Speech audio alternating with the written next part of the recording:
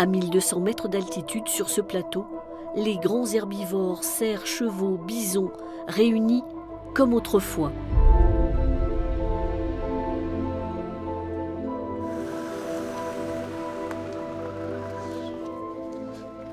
Patrice, le vétérinaire, est à l'origine de cette réintroduction.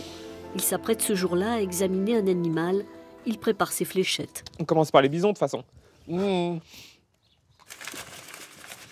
C'est la seule façon qu'on a d'endormir à distance les animaux, sans que ce soit trop dangereux pour eux.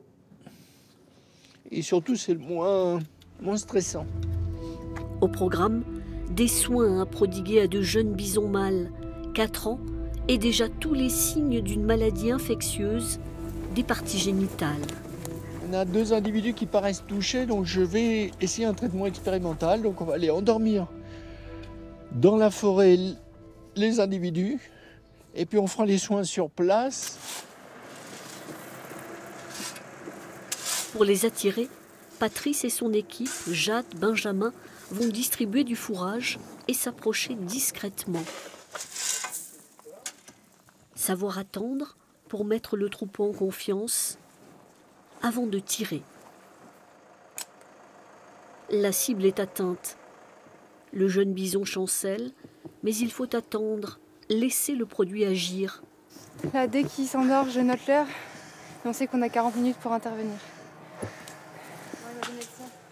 Reste à mettre l'animal en position latérale, à l'entraver pour le soigner. Dégager le fourreau, vérifier l'ampleur de l'infection.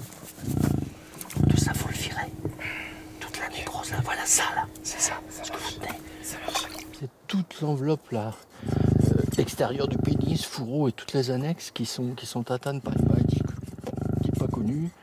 Ça provoque une grosse inflammation, donc là on vient d'enlever tout le tissu nécrosé. C'est pour ça que ça saigne, donc ça c'est bon signe.